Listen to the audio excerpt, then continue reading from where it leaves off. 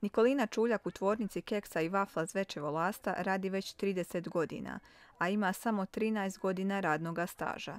Zajedno sa svojim radnim kolegama danas je izašla pred tvornicu tražeći isplatu još dvije neisplaćene plaće te mirovinskog i zdravstvenog osiguranja za protekle dvije godine. Što su god rekli, slagali su. Obmanjuju nas iz dana u dan, samo nam dadnu jednu platu, mirovinsko, zdravstveno, ništa. Svi su upoznati s tim, i mediji, i direktori, sve. Nas je direktor jutro zvao na razgovor, on ne može nama ništa obećati, znači ostaje po starome. Glavni direktor Zvečeva, on se nije oglasio i to je to. Prije dva dana radnici su dobili plaću za lipanj ove godine bez drugih doprinosa. Djelatnici ove nekad najveće čapinske tvornice očajni su i razočarani. Traže svoja prava, pa čak i pod cijenu gubitka radnoga mjesta.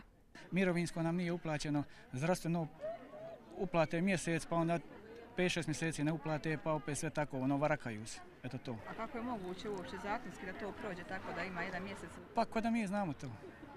To ne bi po zakonu smilo biti tako, ali eto, država dopušta sve što. I dolazimo nadajući se sve da će to biti bolje. Eto, kredit su dobili neki dan, onaj, poslodavac nam je rekao da će to kao, kao biti isplaćeno, ali od toga izgleda nema još ništa. Azra Obradović, koja u tvornici radi 8 godina, navodi kako su radnici složni te da neće odustati od svojih prava. Ko može živjeti tako? Niko. Dođemo doktoru, treba sve platiti. Evo ja sam neki dan bila, treba nalaze platiti 50 maraka. A dobila plaće 380 maraka. Mislim, od toga se stvarno ne može živjeti. Mi samo tražimo naše, da živimo ko ljudi, ako već radimo. Nema nikakva ljudska prava, nikakva. Niti imamo znači uredno primanje, niti imamo zdravstveno, mirovinsko, nemamo ništa. Ništa nema.